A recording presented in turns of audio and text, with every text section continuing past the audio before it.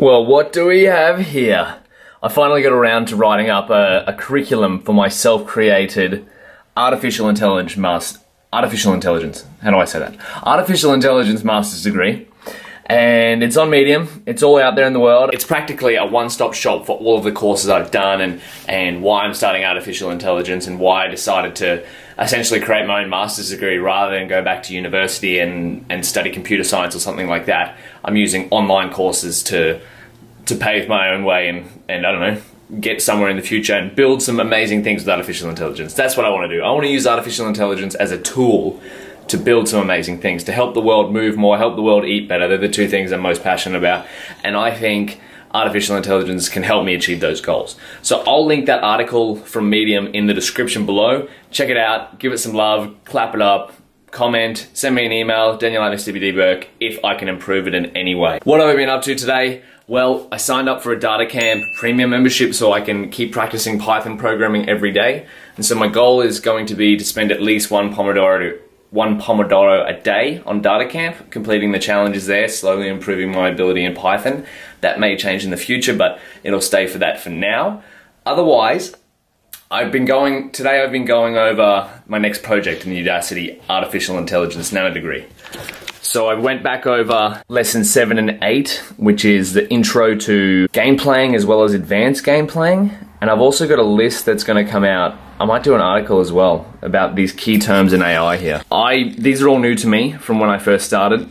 So I figured why not put them in some sort of post and put that out to the world so I can keep myself informed as well as others and I'll just keep adding to it as I as I progressively get more terms and whatnot. Really fun. I certainly going over the content a second time is much is has amazing benefits. So the first time if I I didn't it was all new to me so I didn't really understand it and I had trouble I don't know I went through and I was sort of getting demotivated because it was so difficult. But now going back over it a second time, uh, it's starting to sit more. It's starting to go in better. I may even go over it a third time, who knows. But the project's due on October 3rd and today is the 19th of September. So I've got about two weeks or so before then.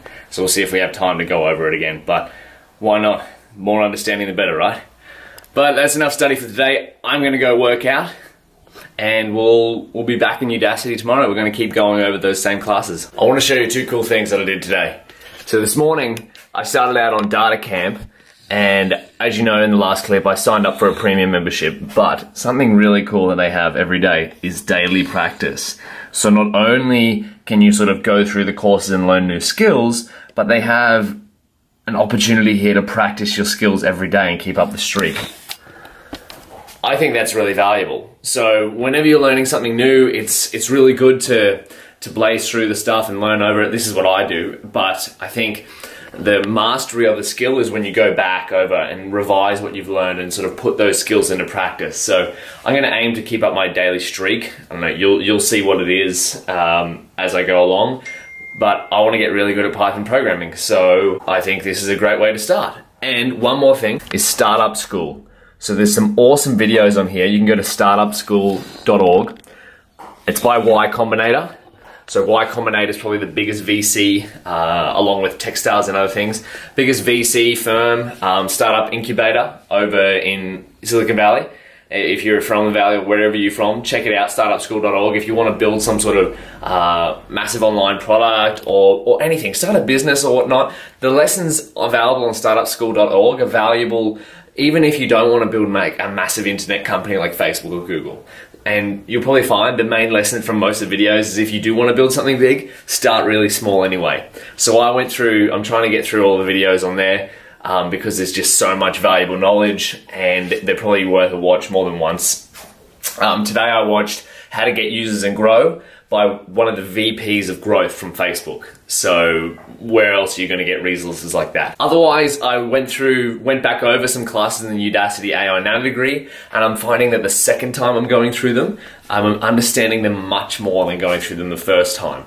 So again, that's a sort of note to self, note to you guys as well. If if you go through, I know when I went through it the first time, I didn't really understand the courses that well, but the second time going through them so far, I'm I'm gathering such a deeper understanding, or not a deeper understanding, but at least a little bit more than what I had in the first go, and I'm actually able to answer some of the questions that they're they're posing in the lectures before they actually go through the answer. So that's a that's a one-upman for me. So tomorrow I'm going to finish off going through those classes again and then plan the next few days and we'll we'll see what happens. A bit of DataCamp every day. Actually, I'm going to go run and then I'll clear my head and then I'll be able to plan out what's going on the next few days. So do you know the answer? Which command invokes the method X of the object P?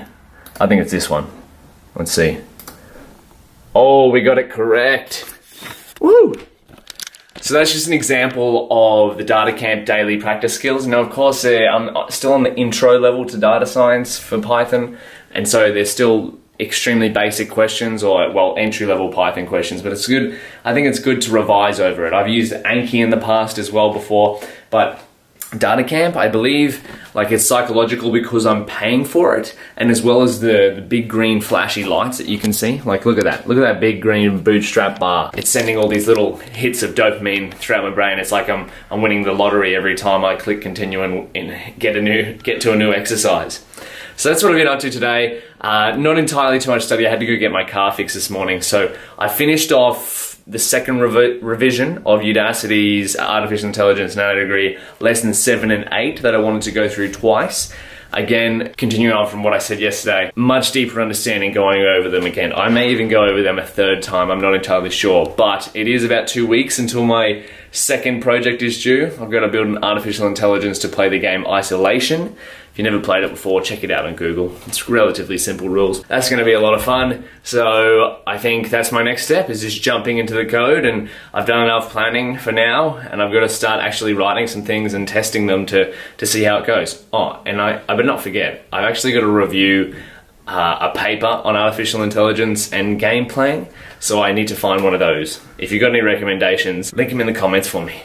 Today I finished the Intermediate Python for Data Science course on DataCamp, and I've got two, two courses completed on there so far. As you can see, completed here. I'm working through the Python programming track. I'm about halfway through. I've got two more to go. I think it's the Python Data Science Toolbox Part 1, and then the Data Science Toolbox Part 2. So I'm really loving DataCamp actually. It's it's really motivating to go through. It's like that hit of dopamine every time you click, and don't submit on a challenge and you get it right. And the feedback you get if you get it wrong is also really great. And I'll show you this video actually I watched by Siraj. It is a guide to DeepMind's StarCraft AI environment. So why did I watch that? Well, as part two of my project two for Udacity's Artificial Intelligence Nanodegree, I've got to read a paper and make a one page summary on it. And I watched this video because it goes through uh, the artificial intelligence game playing environment that was created by StarCraft and Google's DeepMind uh, to, to practice reinforcement learning and I think that's really cool. So that's I read the paper today as well. Actually, it took me it took me about an hour to read this 20-page paper. Like I read it slowly. That was my plan. I'm going to read it slowly once, and then read it again with highlights, and then summarize my highlights and go back over it and over it. I haven't read any scientific papers in a while since university, actually, or properly. Usually, I just skim over them, whatnot. Um, so that's well, it's really storming here. I don't know if you can hear it, but maybe you can see all the rain outside. Check that out. So that's what I'm working on. Um, I took a break from uh, the game playing coding or the coding the agent for isolation and decided to start working on part two of the project so I don't I don't forget that. As you remember, part one is coding an artificial intelligence agent to play the game Isolation with some specific rules, and part two is, of course, making that one page summary of the documentation and it is September 22 at the moment and it's due on October 3rd so I've got about two weeks give or take a few days but that'll be my focus for the rest of next week is working on project 2 I'll start off on Monday and Tuesday with um, part 1 but that's it for me today in terms of learning I'm going to tap out I'm proud of my accomplishment for getting this certificate. It's actually really cool getting a little certificate every time you complete these courses. They don't take too long, they're only a couple of hours each or so. Um, but yeah, amazing day. I'll link all the things I just talked about, like Siraj's video, the, the DeepMind paper I was talking about in the description, and we'll catch you in next week's video.